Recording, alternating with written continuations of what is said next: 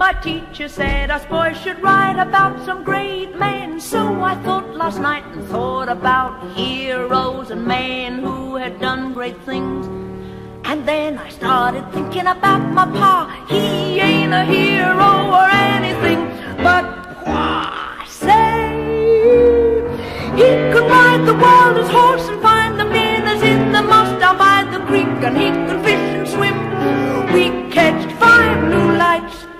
and him.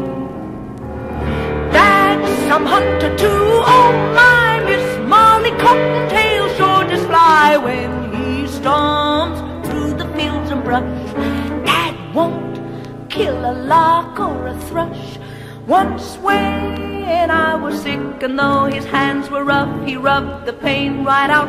That's the stuff he said as I winked back the tears. He never cried but once, and that was when my mother died. There are lots of great men, George Washington and Lee, but